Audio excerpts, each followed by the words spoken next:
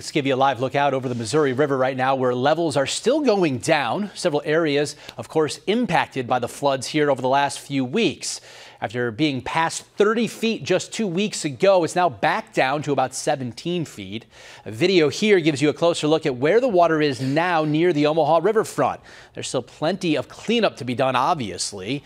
Silt and sand are coating the ground around the famous labor monument. The marina and the monument area still remain closed at this hour with tree debris and limbs strewn about along the fence line and on the stairs right there.